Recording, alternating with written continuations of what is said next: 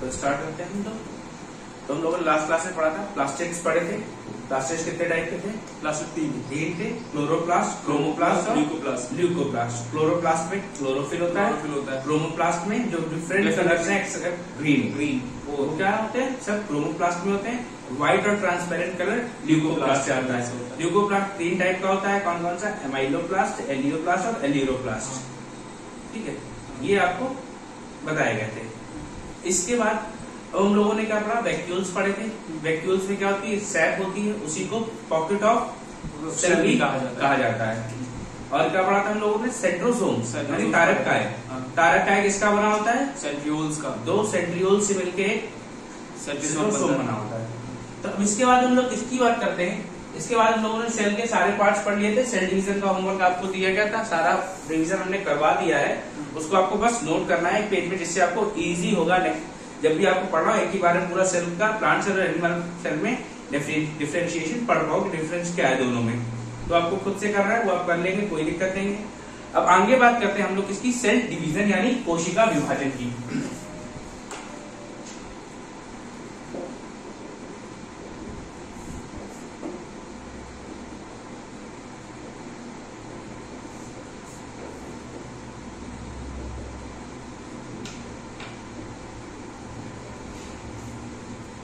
तो मैंने आपको बताया था, जब स्पर्म,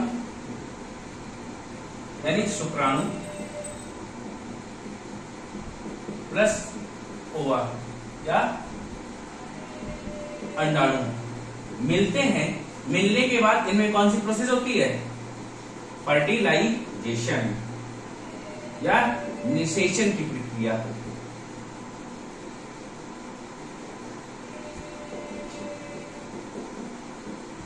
निषेचन होता है तो इसके बाद इसमें क्या बनता है? जब निषेचन हो जाएगा तो इन दोनों से नया सेल बने जिसे बोलते हैं जाइगोट जाइगोट बनता है।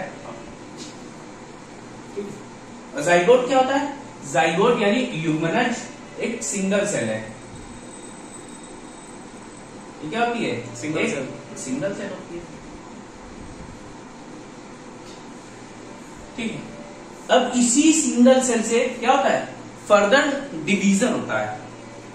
एक जो सिंगल सेल होती है इस सिंगल सेल का क्या होता है? डिवीज़न डिवीज़न होता है और इससे नई सेल्स बनती बनती हैं।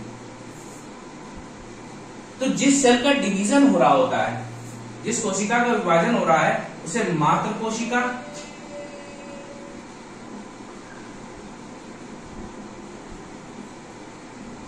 या मदर सेल बोलते हैं। या कभी कभी पैरेंट सेल भी लिख के आता है। और जो नए सेल्स बने हैं जो पुराने से नए बने हैं इनको बोलेंगे डॉटर सेल्स यानी पुत्री कोशिका.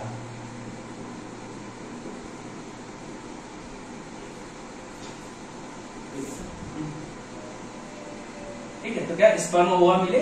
और एक विशेषण हुआ इनमें? युग्मनज बना युग्मनज से वो क्या है? युग्मनज एक कोशिका एक कोशिका है जिसका आगे विभाजन होता है। विभाजन होने के बाद क्या बनती है? पुत्री कोशिका बनती है।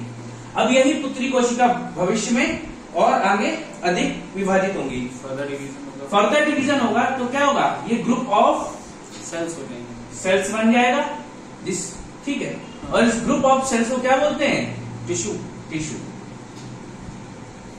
then group of tissue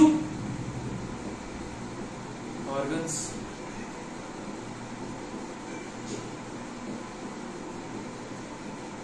तो ये क्या बनाता है? ग्रुप ऑफ़ टिश्यू हो जाएगा जब इसको क्या बोलते हैं हम लोग? ऑर्गन ऑर्गन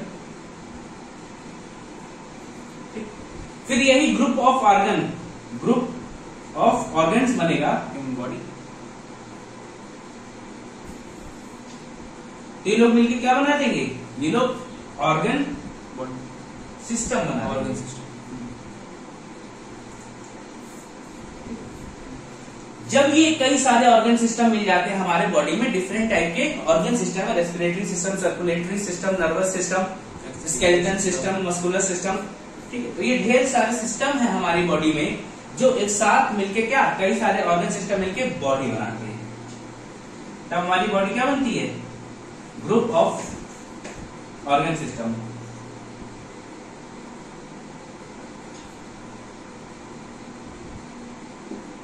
अंग तंत्रों के समूह को क्या कहा जाता है? बॉडी बॉडी यानी शरीर हमारा बनेगा।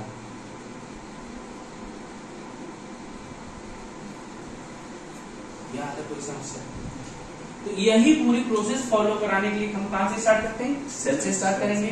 सेल का डिवीज़न होगा। जिस सेल का डिवीज़न हो रहा है वो पेरेंट सेल है।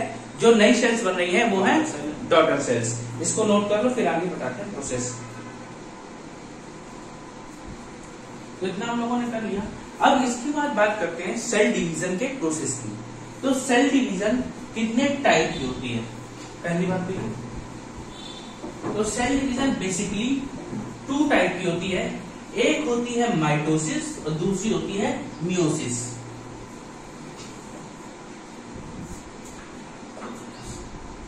cell division of two types कोशिका विभाजन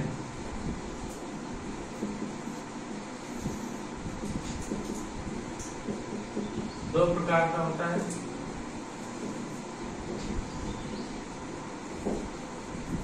पहला क्या है? यानी समसूत्री। दूसरा है मियोसिस। इसको बोलते हैं अर्धसूत्री। एक होता है समसूत्री विभाजन, एक होता है अर्धसूत्री विभाजन। अच्छा इससे पहले और एक बात याद रखना, एक प्रोसेस और होता है जब किसी सेल का डिवीज़न ना हो रहा हो। ना उसमें न्यूक्लियस डिवीज़न हो रहा हो ना उसके साइटोप्लाज्म का डिवीज़न हो रहा हो तो उसको बोलते हैं एमाइटोसिस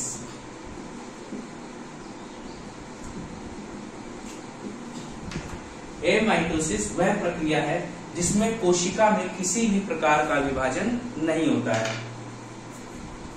There is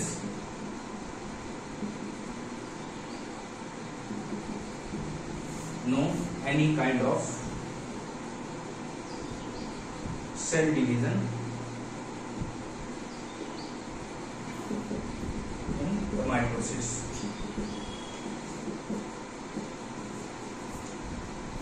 amitosis में किसी भी प्रकार की कोशिका का विभाजन नहीं होता है।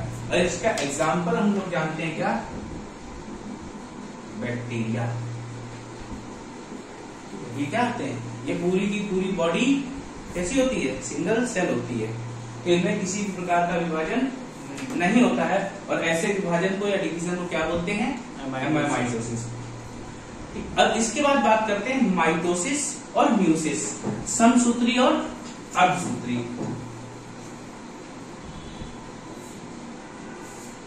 माइटोसिस की बात करें इसमें जो सेल होगी इस सेल में सपोज़ है कितने क्रोमोसोम्स हैं? चार। दो पेयर ऑफ़ क्रोमोसोम है? हाँ। तो इससे जो सेल्स बनेगी उनमें भी सेम नंबर ऑफ़ क्रोमोसोम्स होंगे। Same number of same number of chromosomes होते हैं और एक सेल से दो सेल्स ही बन पाते हैं। ठीक है? तो इस डिवीज़न में क्या बोलते हैं? इक्वल सेल डिवीज़न है तो इसको बोल सकते क्यों? इसमें क्रोमोसोम्स का नंबर क्या है? इक्वल है। इक्वल है। और इसको एक नाम और देते हैं। कितनी सेल्स बनी है एक सेल से? दो। दो सेल बनी है। इसको टू एन सेल डिवीज़न भी बोल दिया जाता है। दो एन कोशिका विभाजन। ठीक है? और कैसे बोलते हैं? इक्वल सेल डिवीज़न कोई दिक्कत नहीं आता? अब यही देखो कि म्यूसिस में म्यूसिस में क्या होता है? एक कोशिका है इसमें चार क्रोमोसोम्स है। अब इसमें एक कोशिका से चार क्या बनेंगे? चार चार से कोशिकाएँ बनेगी। वो भी कैसे? इसमें जो क्रोमोसोम्स है वो सिर्फ़ एक एक पेयर ही आगे बढ़ाता है। कैसे? इसमें क्या बनेगी? चार कोशिकाएँ बन जाएँगी।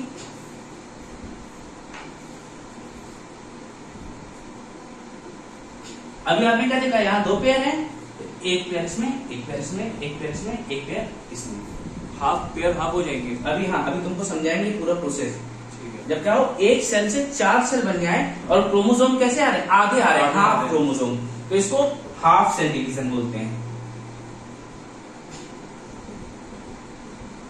कोई दिक्कत हाफ़ सेल डिवीज़न और कितने सेल बने हैं इससे? चार। चार सेल बने हैं तो इसको फोर एन सेल डिवीज़न भी कहते हैं कहा जाता है।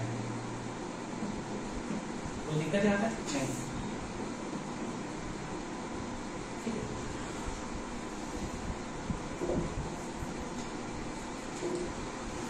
तो मैंने क्या बताया? Mitosis two n cell division equal cell division भी इसको बोलते हैं। और क्या? इसको आइडेंटिकल सेल डिवीज़न भाई, एक जैसे तो हो रहा है, इसको और क्या बोलेंगे? इसको आइडेंटिकल सेल डिवीज़न बोलते हैं।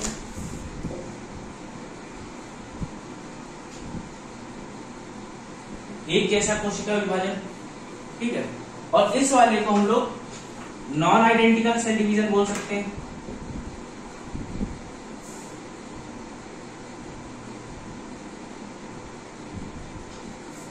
आइडेंटिकल सेल डिवीज़न ये है माइटोसिस में और non identical cell division meiosis में। अब इसके बाद हम लोग आगे बात करें तो सेल डिवीज़न में कल आप लोगों ने कल या परसों दो दिन पहले क्रोमोसोम्स पढ़े थे। हाँ। क्रोमोसोम्स आपने कितने टाइप के पढ़े थे? Chromosomes pair? कितने टाइप के थे क्रोमोसोम अच्छा। क्रोमोसोम दो टाइप के बताए थे ऑटोसोम बताए थे? एक एलोसोम क्रोमोसोम हाँ हाँ हाँ, ठीक। ऑटोसोम में क्या होता था? पूरे पूरे बाईस पेयर होते थे। एज इट इज़ ट्रांसफ़र हो जाते थे। बाईस पेयर होते थे। हाँ। और वही बाईस पेयर क्या होते थे? आगे कंटिन्यू बढ़ जाते जाते थे। हाँ। और एलोसोम में क्या होता था? ये सेक्स डिटरमाइनिंग पेयर होता था। इनमें से कोई एक सेल ही जा रहा था। इसमें क्या देख रहे हो? दो क्रोमोसोम है इसमें आधा जा रहा है ना? हाँ। ये आधा जा रहा है और इसमें पूरे के पूरे हो जा रहे हैं। तो दैट मीन्स ऑटोजोम में क्या होता है? माइटोसिस अच्छा ठीक है। ऑटोजोम में माइटोसिस होता है और जिन सेल्स में ऑटोजोम क्रोमोसोम होते हैं उनको बोलते हैं सोमेटिक सेल्स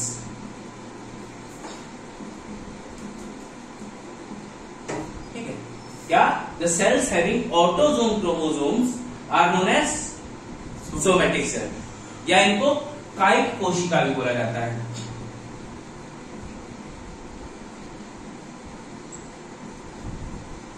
जिन कोशिकाओं में ऑटोजोम गुणसूत्र होते हैं उनको कायिक कोशिका कहा जाता है और इनमें क्या होता है? समसूत्री कोशिका विभाजन होता है।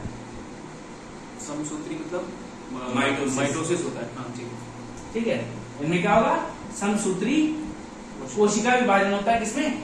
सोमेटिक सेल्स में। सोमेटिक सेल्स में। इन्हीं कहा जाता है सोमेटिक सेल्स अब इसके बाद ये एलोजोम एलोजोम की बात करें तो ये कौन सी सेल्स होती है? एलोजोम और एलोजोम में हम किसकी बात करते हैं? गैमीट सेल की। गेमीट सेल हाँ। यानी प्रजनन कोशिका की बात कर रहे हैं। और प्रजनन कोशिका में क्या होते हैं? एलोजोम होते हैं। हम्म, तो क्या करते हैं? हाफ़ डिवीज़न करते हैं। तो प्रजनन कोशिकाओं में जो प्रक्रिया होती है इसे बोलते हैं मियोसिस यानी अर्धसूत्री कोशिका विभाजन।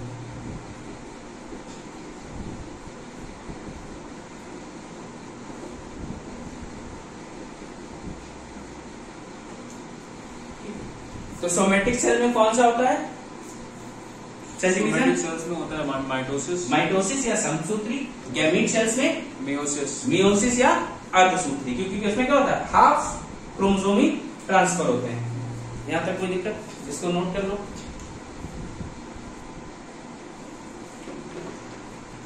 नाउ अब हम लोग देखेंगे माइटोसिस और मियोसिस का प्रोसेस कैसे होता है।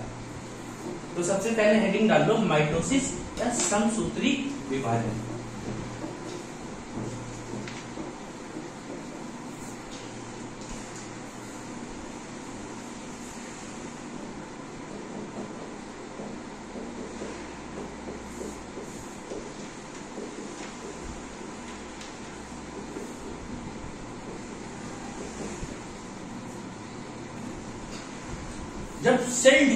होना होता है इसमें एक प्रोसेस की लंबी सी चैन होती है।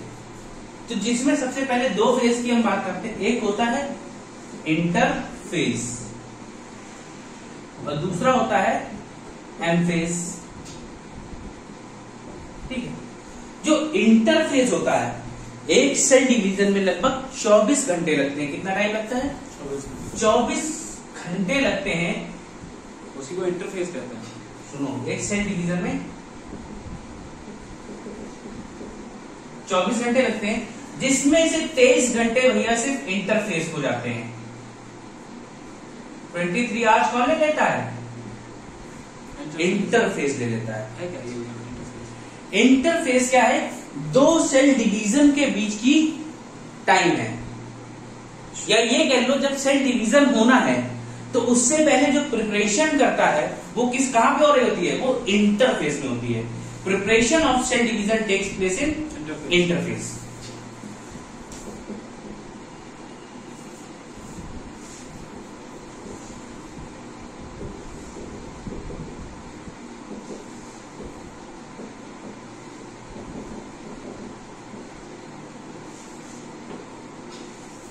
ठीक है तो क्या कोशिका विभाजन की तैयारी कहाँ होती है? इंटरफेस में होती है।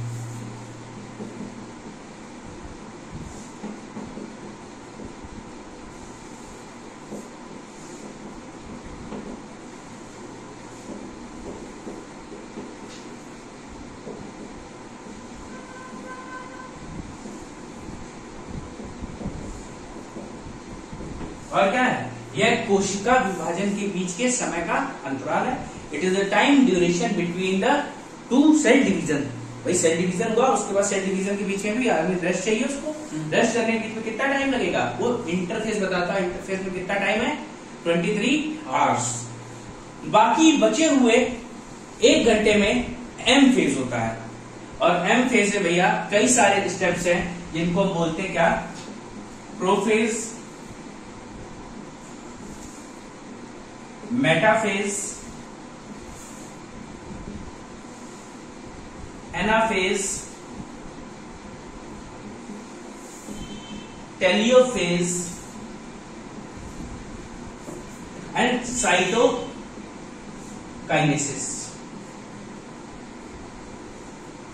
तो ये सब किसमें आता है? ये सब मिलके एम फ़ेज़ में आता है। ठीक? कोई दिक्कत क्या है अब देखो प्रो फ़ेज़ में क्या होता है?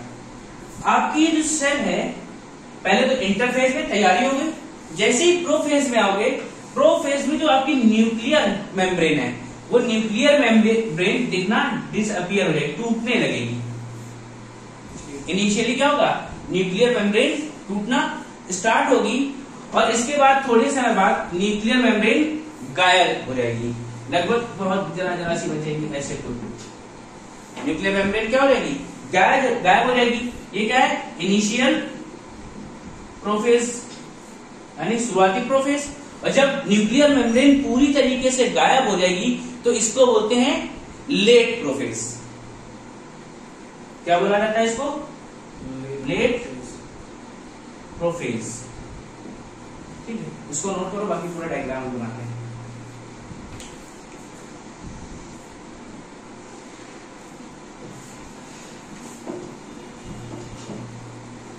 जरा इस फिगर को दोबारा से बनाते हैं। ये क्या बताया था तो पहला फ़ेज़ क्या था? प्रोफेज जहाँ पे न्यूक्लियर मेम्ब्रेन ब्रेक होना स्टार्ट होती है।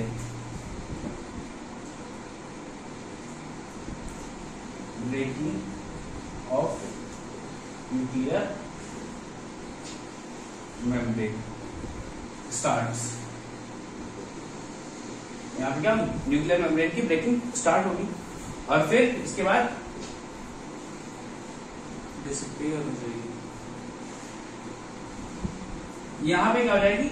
लगभग डिसअपियर हो जाएगी। ये क्या बात करते हैं? लेट प्रोफेज में। न्यूक्लियर मेम्ब्रेन डिसअपियर्स जैसे ही न्यूक्लियर मेम्ब्रेन डिसअपियर्स होगी तो इस बॉडी में क्या होता है? हमने क्या बताया था सेल डिवीज़न के समय चीज़ दिखाई देनी होती दिखाई देना शुरू होती है उसे क्या बोलते हैं? क्रोमोसोम क्रोमोसोम्स क्रोमोसोम्स कब दिखाई देते हैं? सेल डिवीज़न के समय। दिखाई देते हैं। बाकी आपको कोई भी बॉडी के ऑर्गन नहीं दिखाई देंगे ना बॉडी बॉडी दिखाई देगी ना वेक्टर्स दिखाई देंगे या आपको कुछ भी नहीं दिखाई देता है। क्या दिखाई देगा? क्रोमोसोम्स दिखाई देते हैं। ये जब न्यूक्लियर मेम्ब्रेन टूट जाती है तब ये आते हैं किसमें? मेटाफेज में। मेटाफेज में क्या होता है? अब आपको मैंने बताया था सेंट्रोजोम होते हैं हमारे पास। सेंट्रोजोम क्या करते हैं? सेंट्रोजोम यही जो आपके क्रोमोजोम्स हैं, इनमें कॉन्ट्रेक्शन पैदा करते हैं। क्या पैदा करेंगे? कॉन्ट्रेक्शन और यही सेंट्रोजोम क्या करते हैं? सेपरेट करते हैं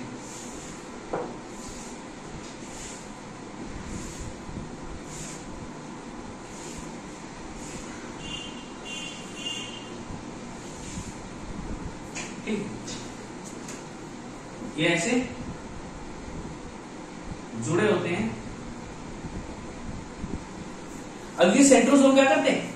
कॉन्ट्रेक्शन पैदा करते हैं इसमें क्रोमोसोम्स में और इनको सेपरेट करते हैं। तो ये क्या? मेटाफेज में separation of chromosomes takes place सूत्रों का पृथकीकरण कहाँ पे होता है? मेटाफेज ठीक है? गुण सूत्रों का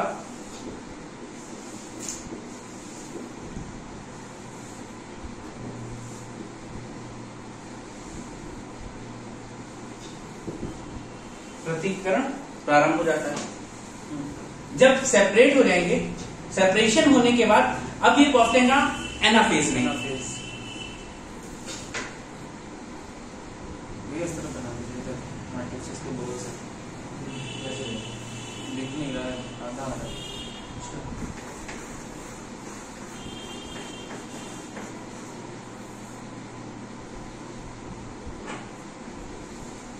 ठीक है यहाँ पे क्या स्टार्ट हुआ?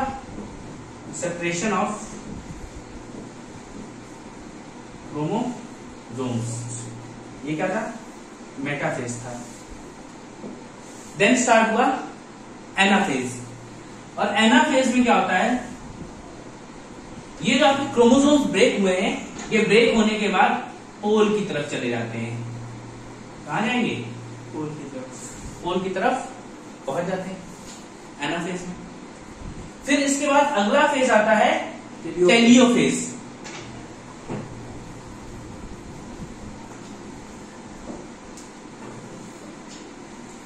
और टेलियोफेज में क्या होता है? इनमें विभाजन शुरू हो जाता है। लास्ट स्टेप होता है वो क्या है? साइटो टेलियोफेज में भी किसमें विभाजन शुरू हो जाता है? हाँ? किसमें विभाजन शुरू हो जाता है। मतलब स्टार्टिंग सेपरेशन स्टार्ट हो जाता है। अलग है ये अलग है क्रोमोसोम अलग है। अब आपका क्या है? क्रोमोसोम दिखना बंद हो जाएँगे बाकी बॉडी पार्ट्स दिखने लगेंगे सेल के। ठीक। क्या टेलियोफेज में आपका क्रोमोसोम दिखना बंद हो जाएगा बाकी बॉडी पार्ट्स दिखने लगे दिखने लगेंगे। यहाँ पे क्या हुआ था? बाकी बॉडी पार्ट्स गायब हो गए थे। ठीक है? और लास्ट में आता है साइटो काइनेसिस साइटो का मतलब होता है सेल काइनेसिस का मतलब होता है डिवीज़न दैट मींस ये सेल के दो अलग पार्ट में डिवीज़न हो जाता है। कोई दिक्कत नहीं। ये पूरी प्रोसेस थी किसकी? माइटोसिस की। तो क्या हुआ? सबसे पहले प्रोफेज, जिसमें क्या हुआ? न्यूक्लियर मेम्ब्रेन यानी केंद्र झिल्ली गायब हो गई। फिर मेटाफेज जहाँ पे क्या हुआ? गुण सूत्रों का पृथकीकरण हुआ, यानी सेपरेशन ऑफ़ क्रोमोसोम्स हुआ। देन इसके बाद एनाफेज यहाँ पे क्या हुआ? पोलराइजेशन ऑफ़ क्रोमोसोम्स यहाँ पे लिख सकते हो क्या? पोलराइजेशन ऑफ़ क्रोमोसोम्स मतलब ये पोल्स की तरफ़ चले गए। देन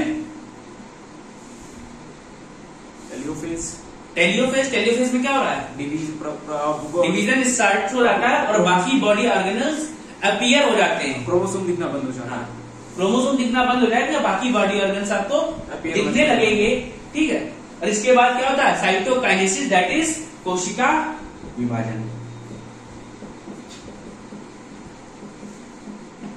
कंप्लीट डिवीज़न का कंप्लीट होता है? साइटोकाइनेसिस में।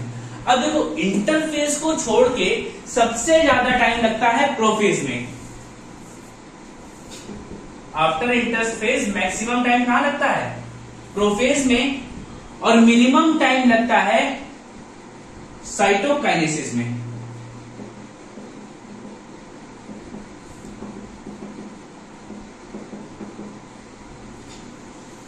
कोई दिक्कत? यहाँ तक कोई डाउट नहीं? बना दो इसको।